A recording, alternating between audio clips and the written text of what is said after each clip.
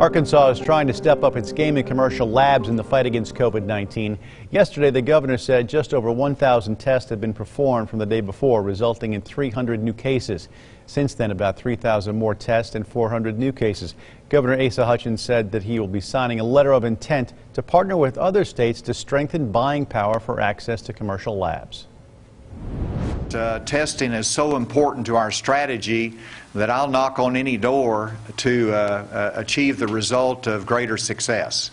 And so uh, I'll continue to uh, push for national solutions to the shortage of the commercial testing labs, but I'll also help from a state perspective to create that demand.